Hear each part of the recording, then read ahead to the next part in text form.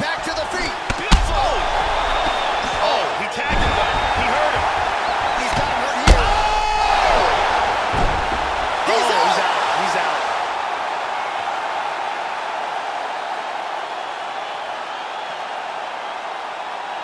And here's the end.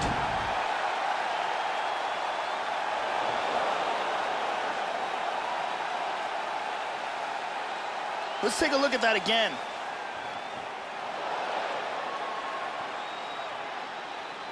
Great angle here. I mean, just stiff. So a huge result and a seminal moment for him here tonight as he gets the big knockout win. That could hold up as one of the better.